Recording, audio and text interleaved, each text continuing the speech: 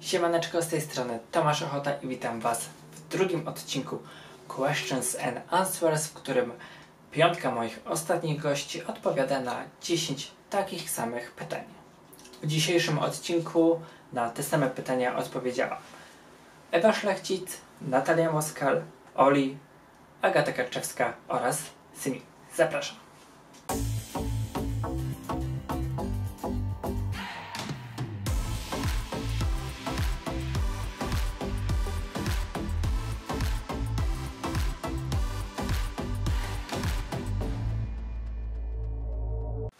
Pytanie numer jeden.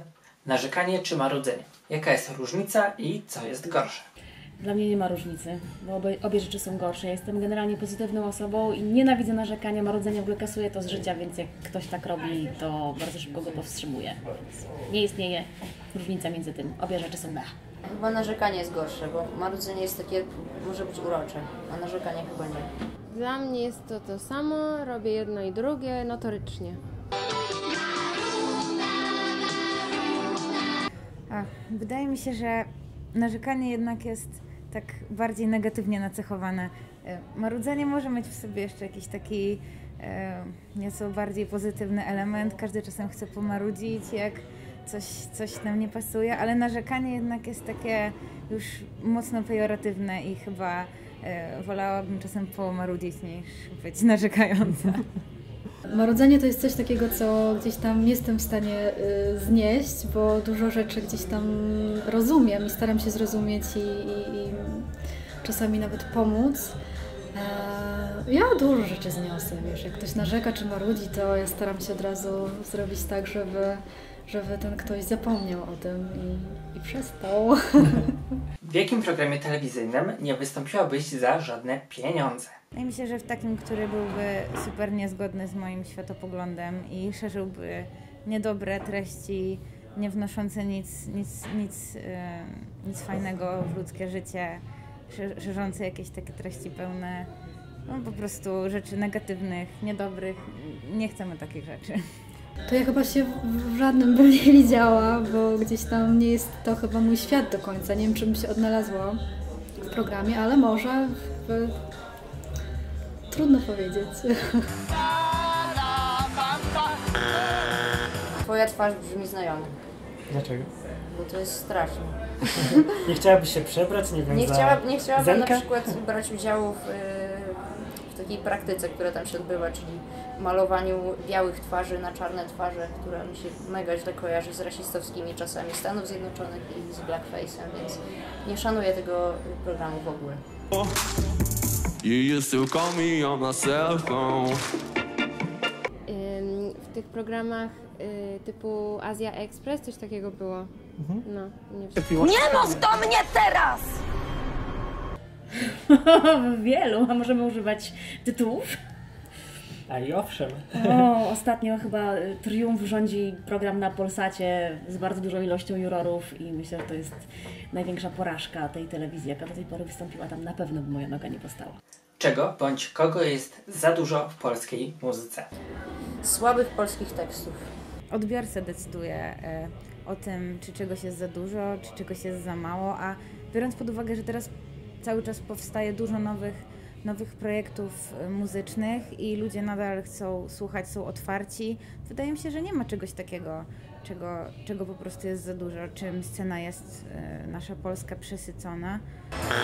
Nie wiem, mogę stracić jakichś znajomych. Hej, w tym odcinku pokażę Wam w jaki sposób usunąć kogoś ze znajomych na Facebooku. Myślę, że za dużo jest y, prostej muzyki robionej pod stacje radiowe, a za mało takiej prawdziwej, rdzennej, pisanej y, z potrzeby, z pasji, y, a nie z tego, co wyznaczają trendy.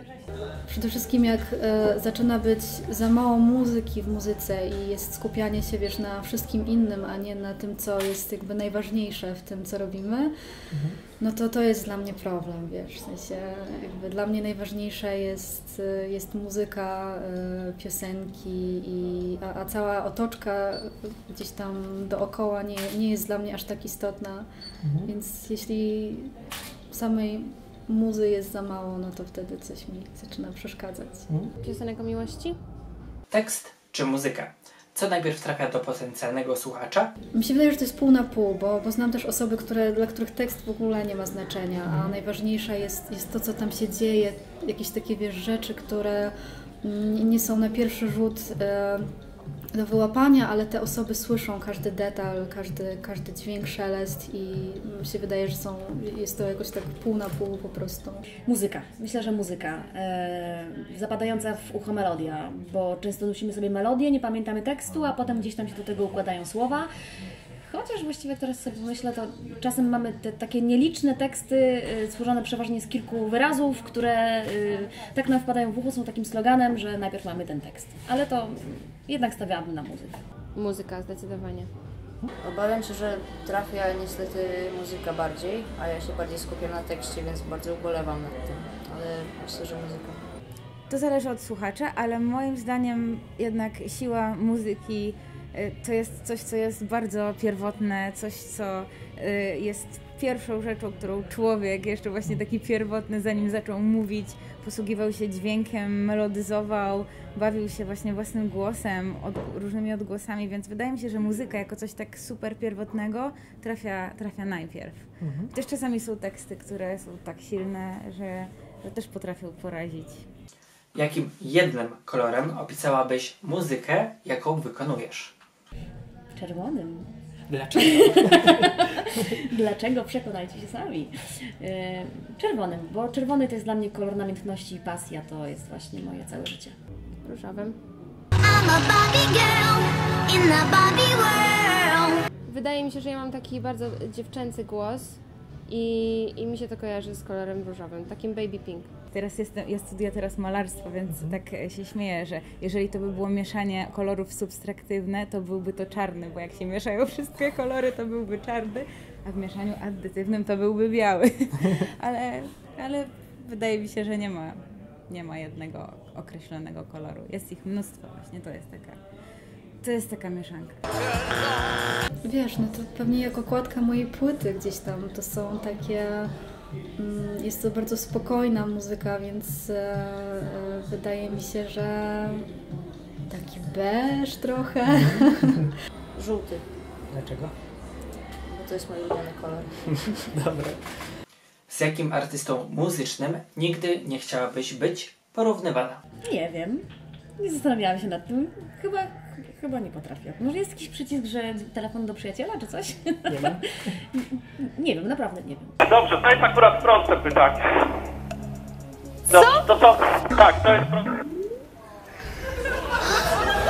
Chyba nie chciałabym być z nikim porównywana. Chciałabym być sobą. Nie, nie lubię porównań typu nasza polska Rihanna albo nasza polska Beyoncé, czy, yy, czy nasza polska Metallica na przykład, bo też z z takimi Nasz polski spotkam. Justin Bieber. Dokładnie, nie, nie lubię tych porównań i w ogóle nie chciałabym być porównywana z nikim. Dobrze. To myślę, że nie chciałabym być porównywana z takimi zespołami jak na przykład Coldplay, który jest uwielbiany przez wielu, a, a ja w ogóle tego nie, nie czuję totalnie. Mi się wydaje, że to jest takie granie bardzo popowe i bardzo pod publiczkę. Come up to meet you, tell you I'm sorry. Z metalowcami być porównywana i z disco polo.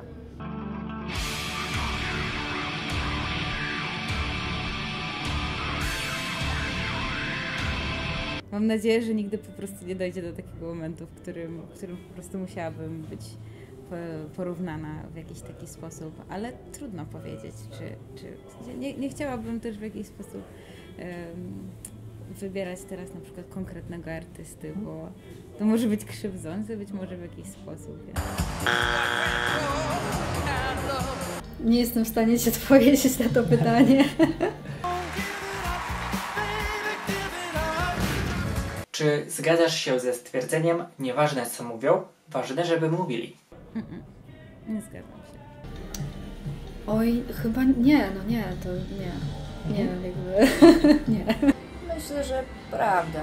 Nie. Oczywiście, tylko żeby nazwiska nie pomylili. Jakich trzech tematów nie poruszyłabyś na swoim albumie? No, Nie mam pojęcia, jakie były trzy, których bym nie poruszyła. Pewnie jakieś takie tematy mega polityczne albo tematy, z którymi się nie zgadzam, ideologiczne. Mamy dwa. Widzisz, dobrze ci poszło. Jeszcze jeden. Jeszcze jeden. Na myślenie. Eee, w żadnej z moich piosenek jakoś bym się nie kłóciła z innymi artystami i nie obrażałabym ich, więc może, to jest jakiś temat. Może nie ma takiego konkretnego tematu, który teraz mi przychodzi do głowy, ale na pewno nie byłoby to coś, co, co miałoby trafić w kogoś i zranić i sprawić jakiś taki, że to będzie jakieś coś bolesnego dla kogoś. Dobrze, to mówię do tych spraw bardzo osobistych, rodzinnych, tak, bo nie, nie chciałabym aż tak się odkrywać przed y, słuchaczem. E, myślę, że spraw politycznych, y, takich stricte y, teraźniejszych, czyli tego, co się dzieje obecnie w państwie.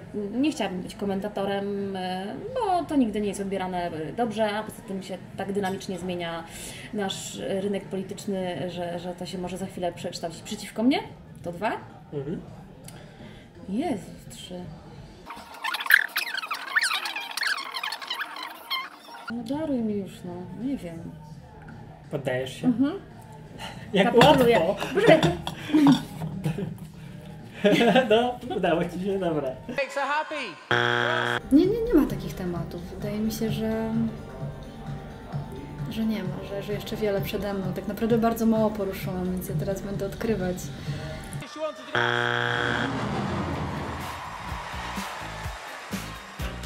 Według mnie nie ma takich tematów. Chyba, chyba nie ma. Wyjaśnij pojęcie muzyka. Czymś wyjątkowym po prostu. Dla mnie, no bo muszę mówić o sobie, dla mnie Tak. muzyka to jest całe moje życie i ja nie potrafię się od tego uwolnić. Yy, Ja nie wiem, czy można w ogóle określić muzykę. To jest jak, to jest jak powietrze, to jest jak woda, to jest jak to, czym oddychamy.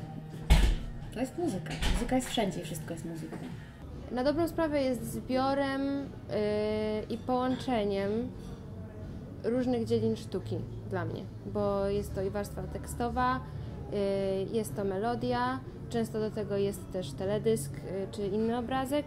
Więc dla mnie pojęcie takie szerokie muzyki jest taką syntezą różnych sztuk. Uch.